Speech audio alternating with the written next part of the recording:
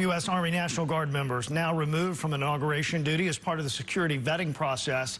Investigators say they have found to have ties to fringe militia groups. The Defense Department and the FBI have not said what group the Guard members belong to or what unit they serve in. No plot against President-elect Biden was found. Acting Secretary of Defense Christopher Miller says at this time there's no intelligence indicating an insider threat to the inauguration.